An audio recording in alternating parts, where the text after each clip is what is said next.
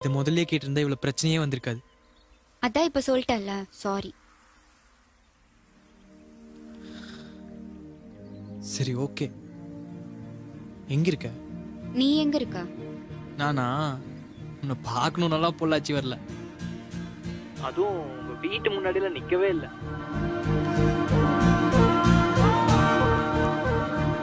லூசு பண்ணி எருமை பக்கி? சத்தியமா நீ மென்டல் தாண்டா. ஏய் என்னாச்சு? சத்தியமா எனக்கு சந்தோஷமாவே இல்ல. லூஸ் என்னாச்சுன்னு சொல்லு. என்ன சொல்றது? சொல்லிட்டு வர மாட்ட. நான் உங்க வீட்டு முன்னாடி இருக்கேன்டா. உன்னை பார்க்க. எத்தனை